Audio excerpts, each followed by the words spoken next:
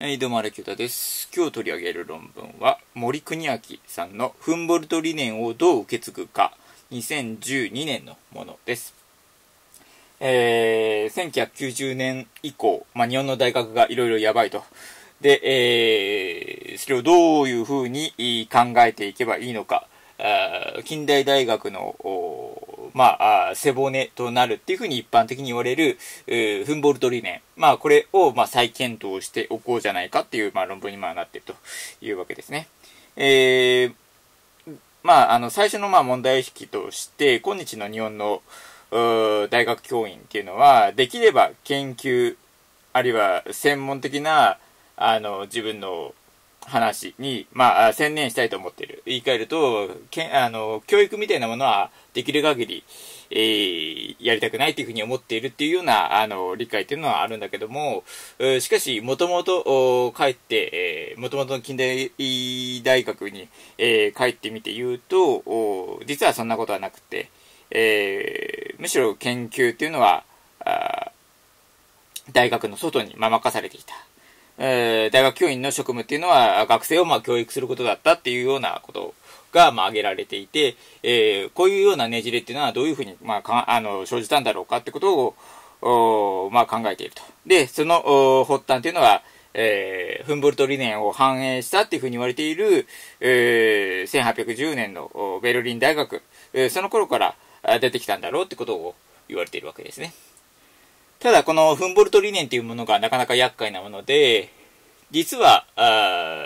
その、1810年のベルリン大学に、そのフンボルト理念が反映されていたのかっていうことになると、実はそれは結構怪しい理解なんじゃないかってことが、あの、紹介されているわけですね。えー、まあ、ちなみにフンボルト理念というのは、あとりわけ、えー、一言で、とりわけと言いますか、あ一言で、まあ、要約してみると、研究を通じた、まあ、教育を目指すよということが、まあ、大事であると。まあ、あの、より続めて言うと、研究と教育を総合するよと、一体なものにするよというような理念なわけですね。で、これが、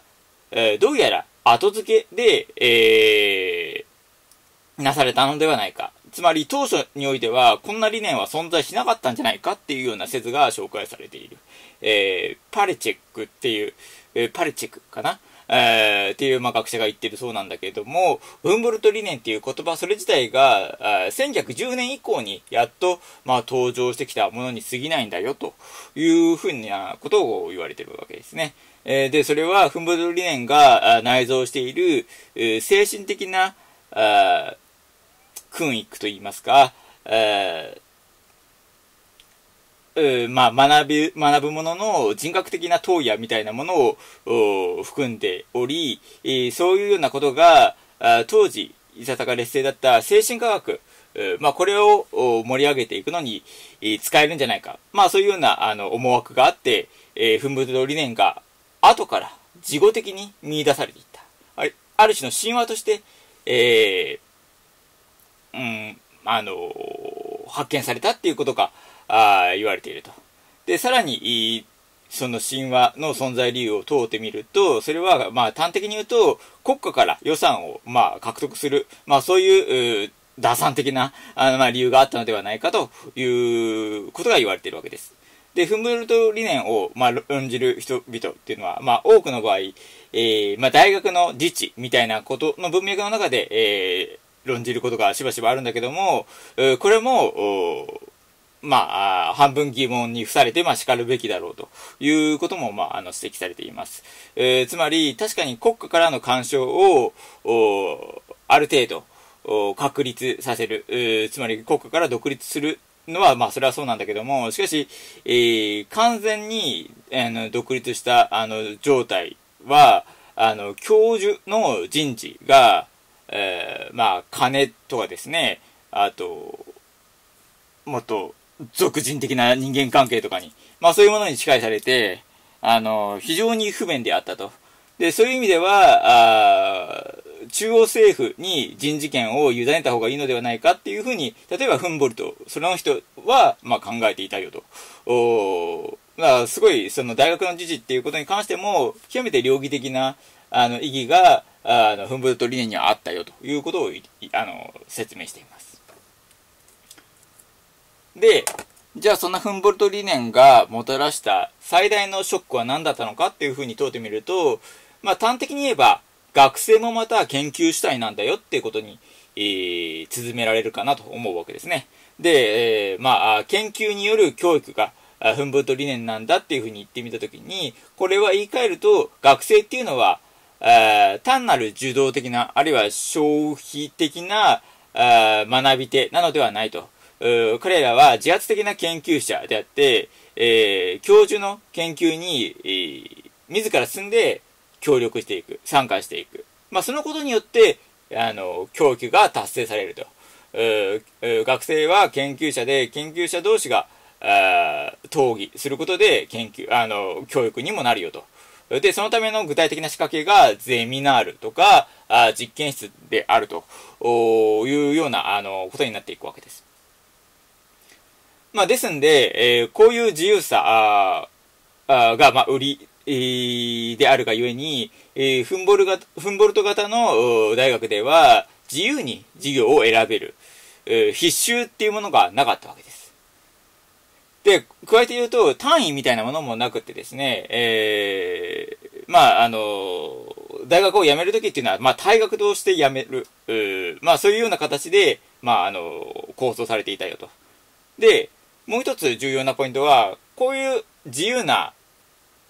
学生主体、